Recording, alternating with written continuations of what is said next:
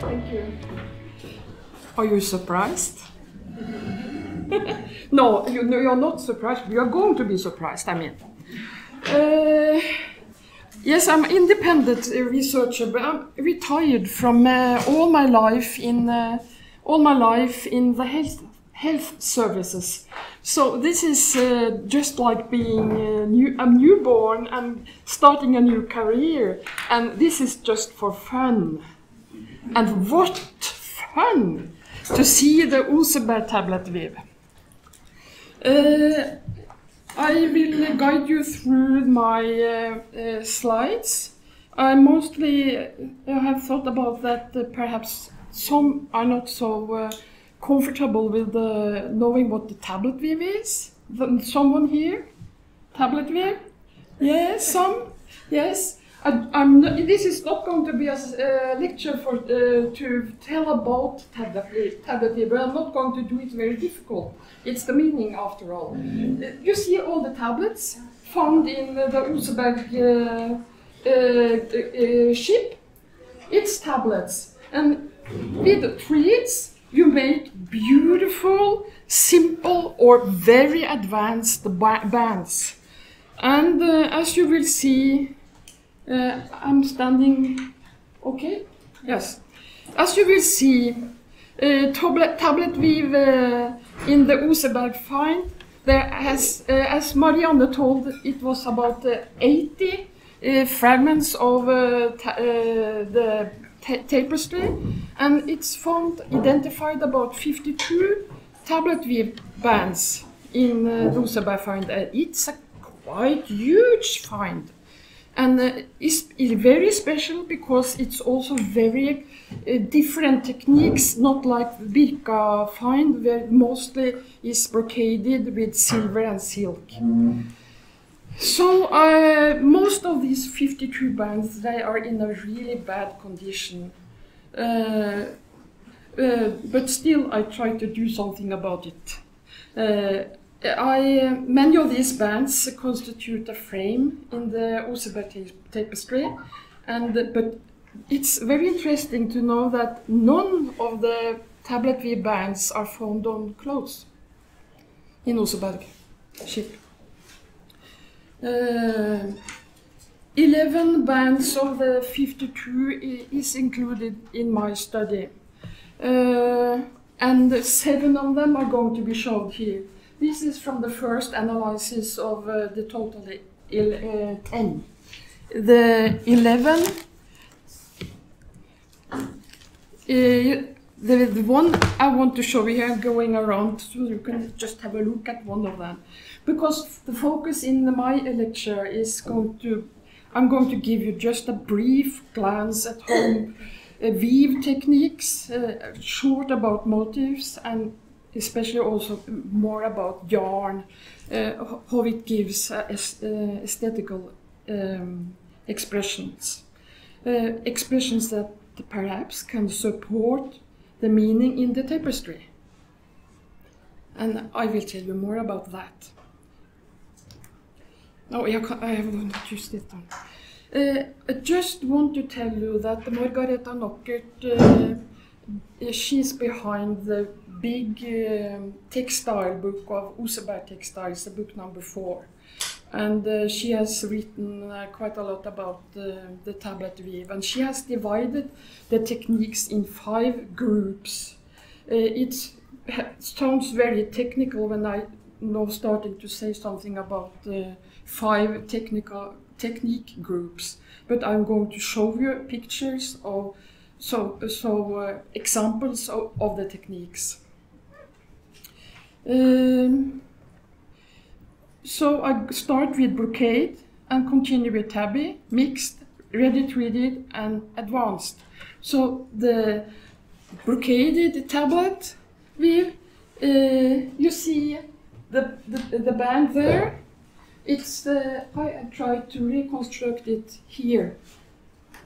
So this is uh, a fragment from the tapestry, uh, 13b2.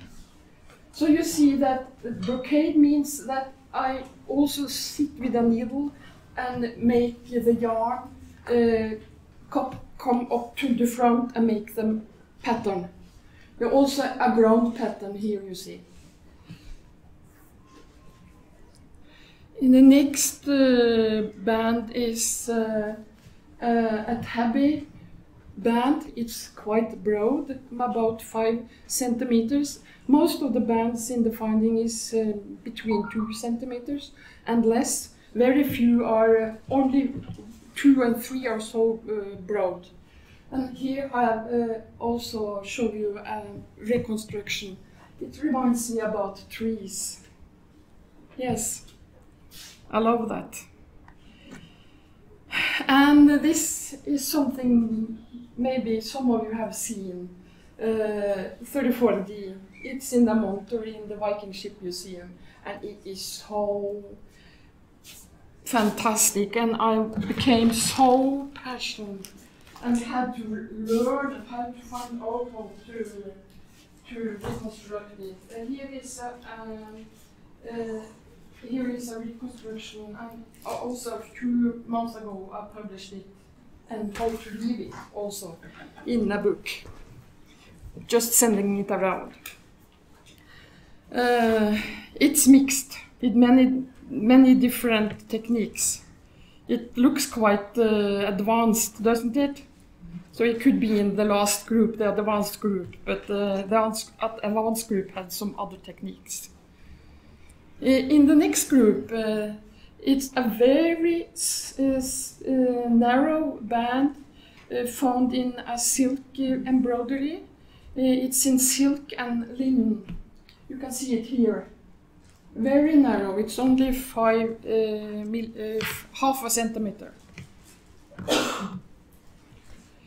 and the advanced group uh, here in I, I forgot the it's a 30b. It doesn't say anything for you, but it's 30b.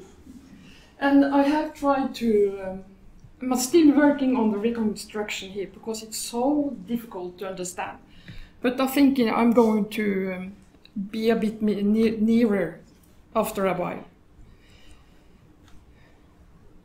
Yes, I will now show you some examples of uh, aesthetical uh, uh, impressions or expressions. Uh, and I will limit uh, my, the examples to the fragment of the tapestry 6a. You also saw, you saw a glance of it in Marianne's lecture. And I will use that one also for examples of the aesthetical impressions. You see that in I, then I focus on techniques, next motives, and then the yarn material. In techniques, it's, it's typical, very uh, delicate and uh, narrow in general, yes. And uh, it has very, it also has sharp lines and it has blurry uh, lines by using backside techniques on the front side. Uh, like here, here, here is, here, here usually we think about that's the front side. And here I also have used the front side, back, front side techniques, uh, the backside techniques and the front side. Also that give us, gives does it give meaning for you? Yes, backside techniques are shown as as uh, is going to be the front side in the tapestry when it's uh, sewed on. Yes, it took me quite a long time to try to think different. Not always think that front side uh, are going to be used. This is very special. It's a lot of uh, two threads use, and it also gives a very delicate look that you can see that the, the, the linen is going, shining through. And also the picking, it's also something I've used a lot of time to understand because normally we don't, we, we, we change the turn, turn the, the tablets. We are not sitting with an extra tool without only a needle when I'm brocading, but we, uh, also use an extra tool to make it uh, look like tabby in 34D. And it's very seldom long floats like we can find in uh, techniques in Snartemo from the uh, 500 uh, century, the five, 5th century. Oh, my English, it's going to be like it is. It, it's what it is. Uh, about motives and aesthetical expressions, uh, you see from the 6A uh, tapestry, there is a kind of a column, a søyle column, yes, and to understand that, uh, I also use backside technique to make the more blurry impressions.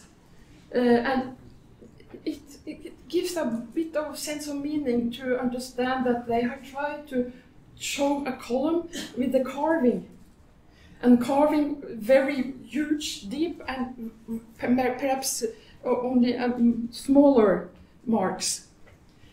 Uh, framing of motifs using sumac. It's, it's kind of a sewing technique you see here.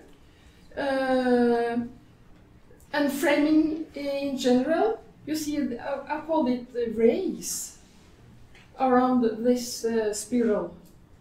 And there are a lot of symbolic meaning. The swastika and the wall uh, knot and uh, the spiral too. And uh, also in 34D, you can see something look like flowers. Tre minuter. Okay. You see that? Yes. Uh, yarn from uh, the old uh, Norse sheep. I have used that for uh, reconstruction.